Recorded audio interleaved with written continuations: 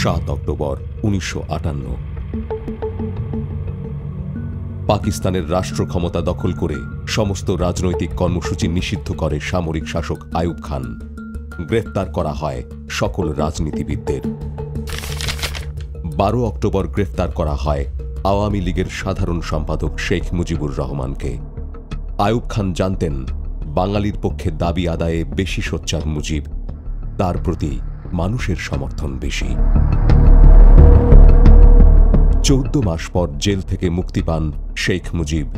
কিন্তু তখন রাজনীতি ছিল সম্পূর্ণ নিষিদ্ধ। রক্তে যার রাজনীতি আর বাঙালির মুক্তির স্বপ্ন, তাকে কি রাজনীতির বাইরে রাখা যায়? তাই কৌশল বদলে চাকরিতে যোগ দেন বাঙালির মুক্তির মহানায়ক। টার্গেট ছিল একটাই, পাকিস্তানের শোষণ আর বঞ্চনার বিরুদ্ধে সমগ্র বাঙালি জাতিকে ঐক্যবদ্ধ করা।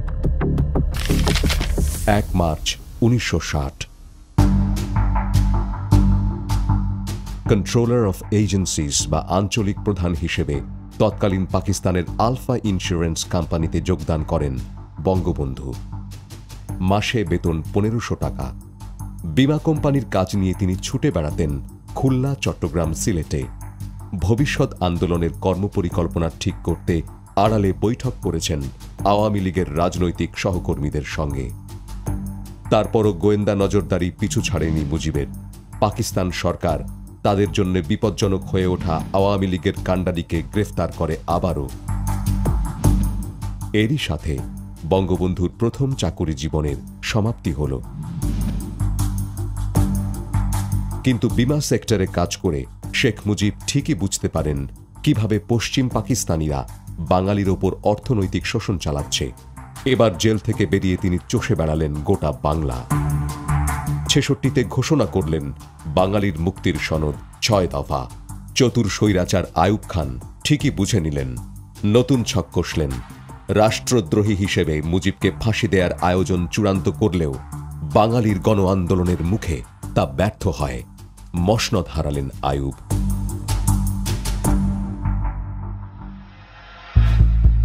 আবারও বিমা খাতের সাথে যুক্ত হলেন বঙ্গবন্ধু।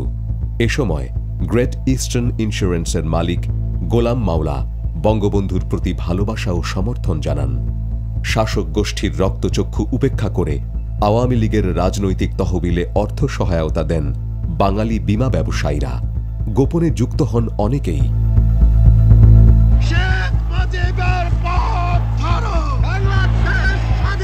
একাত্তরের সাতই মার্চের উত্তাল জনসমুদ্রে সাত কোটি বাঙালির সাধারণ জীবনের বিমার দায়িত্ব নিয়েই বঙ্গবন্ধু দিলেন স্বাধীনতার ঘোষণা।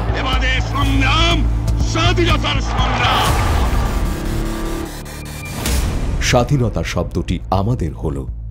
কিন্তু যুদ্ধ বিধ্বস্ত বাংলাদেশে নতুন লড়াই শুরু করলেন বাঙালির জাতির পিতা। চাকরি সূত্রের অভিজ্ঞতায় বঙ্গবন্ধু বুঝতে পারেন সামাজিক নিরাপত্তা নিশ্চিত করার ক্ষেত্রে বিমার কোনো বিকল্প নেই। তাই আগের সব বিমা কোম্পানিগুলোকে তিনি জাতীয়করণ করেন। সাতষট্টিটি কোম্পানি থেকে গঠন করেন চারটি কর্পোরেশন। সেগুলোকে তদারকি করার জন্য বঙ্গবন্ধু প্রতিষ্ঠা করেন একটি জাতীয় বিমা কর্পোরেশন। উনিশশো তিয়াত্তর সালে তিনি ইন্স্যুরেন্স কর্পোরেশন অ্যাক্টের মাধ্যমে সবগুলো বিমা কর্পোরেশন অবলুপ্ত করে গঠন করেন। সাধারণ বিমা কর্পোরেশন এবং জীবন বিমা কর্পোরেশন। এদের তদারকি করতে চালু করেন বিমা নিয়ন্ত্রক সংস্থা। আমি শাসনতন্ত্র দিয়ে দিয়েছি। এবং এই শোষণহীন এবং সম্পদ হবে, তা সুষম বন্টন করতে হবে, যাতে গরিব তার ন্যায্য অধিকার পায়। যত ব্যাংক ইন্স্যুরেন্স কোম্পানি দেখেন, আগে মালিক ছিল একজন, দুইজন। আজ মালিক বাংলার সাড়ে সাত কোটি মানুষ। ব্যক্তি, পরিবার আর প্রাতিষ্ঠানিক ঝুঁকি হ্রাসে বঙ্গবন্ধুর মতোই বিমার গুরুত্ব অনুধাবন করেছেন বঙ্গবন্ধুর কন্যা, যিনি নিজেকে বিমা পরিবারের একজন বলেই মনে করেন। বিমা শিল্পের সাথে আসলে আমার পারিবারিক সম্পর্ক রয়েছে। তিনি যে তখন আলট্রা ইন্স্যুরেন্স কোম্পানিতে চাকরি নিয়েছিলেন, সেই সুবাদে আমি বলব যে আমরাও, আমিও এই পরিবারেরই একজন সদস্য এবং সন্তান। মাননীয় প্রধানমন্ত্রী, আপনার দেশ শাসনের নীতি আর অর্থনৈতিক অগ্রযাত্রা বিমা খাতকে অনন্য এক উচ্চতায় পৌঁছে দিয়েছে। উনিশশো আটত্রিশ সালের পুরনো বিমা আইন পরিবর্তন করে আপনি দু হাজার দশ সালে নতুন বিমা আইন চালু করেছেন। কন্ট্রোলার অফ ইন্স্যুরেন্স অধিদপ্তর বিলুপ্ত করে বিমা উন্নয়ন ও নিয়ন্ত্রণ কর্তৃপক্ষ আইন দু প্রণয়ন করেছেন। বিমা পরিবারের আপনজন হিসেবে আপনার নেয়া বিভিন্ন পদক্ষেপে গেল এক দশকে দুর্বার গতিতে এগিয়ে গেছে দেশের বিমা খাত। লাইফ ইন্স্যুরেন্স গ্রস প্রিমিয়াম বেড়েছে তিনশো এক ভাগ। একইভাবে নন লাইফ ইন্স্যুরেন্স গ্রস প্রিমিয়ামে প্রবৃদ্ধি হয়েছে একশো অষ্টাশি ভাগের বেশি। বিমা শিল্পের অন্যতম দক্ষতার সূচক বিমা দাবি পরিশোধ। এক দশকে নিষ্পত্তির হার বেড়ে দাঁড়িয়েছে সাড়ে আটাত্তর ভাগে।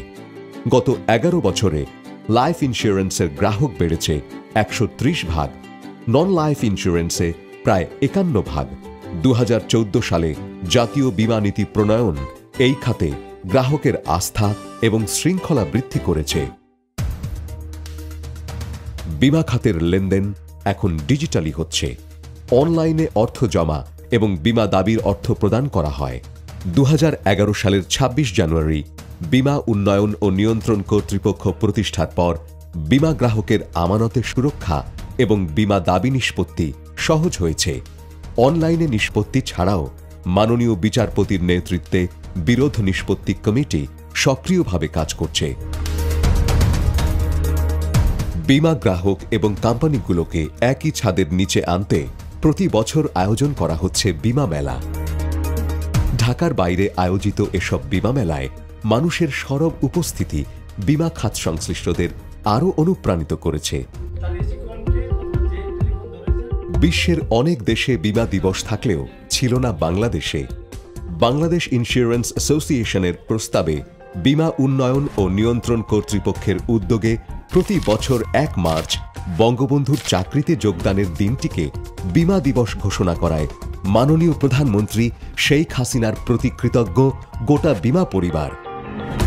সময় এখন বাংলাদেশের, সময় এখন উন্নয়নের। আপনার নেতৃত্বে দ্রুত গতিতে বাস্তবায়িত হচ্ছে বেশ কয়েকটি মেগা প্রকল্প।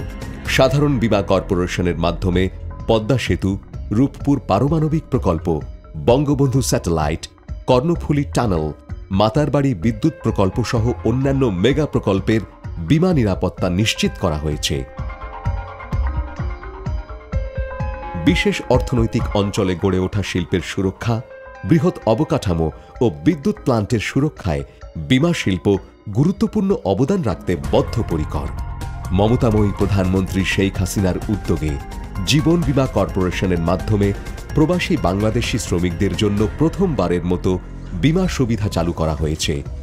এই উদ্যোগের ফলে এখন থেকে বিদেশগামী শ্রমিকরা প্রবাসী কল্যাণ বীমার আওতাভুক্ত হলেন। সার্বজনীন স্বাস্থ্য বীমা, পেনশন, কৃষি এবং শিক্ষা বীমা চালু করার উদ্যোগ নেওয়া হয়েছে। মাননীয় প্রধানমন্ত্রী আপনারই নেতৃত্বে অপার সম্ভাবনাময় বিমা খাতকে এগিয়ে নিয়ে যেতে আমরা বদ্ধপরিকর।